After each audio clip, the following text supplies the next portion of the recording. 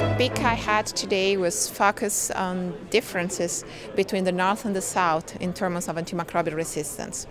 Uh, this is actually a very significant problem because um, in the current era, when we have so many patients uh, moving from one country to another, uh, it's very difficult to control antimicrobial resistance if we work only in one country. So today there is really a huge difference. So the country in the south of Europe, they have an increased rate of resistance and infection in respect to the, to the north of Europe.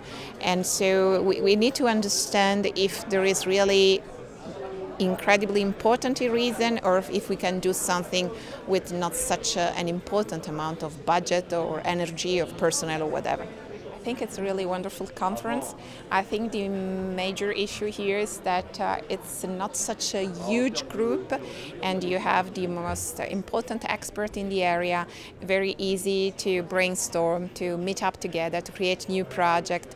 And it's very nice that you have also a chance to look at the other experience uh, also in not university hospital and maybe these people they do not have always in huge conferences a place where to report what they do. So, and you can always learn from everybody, so I think it's very nice.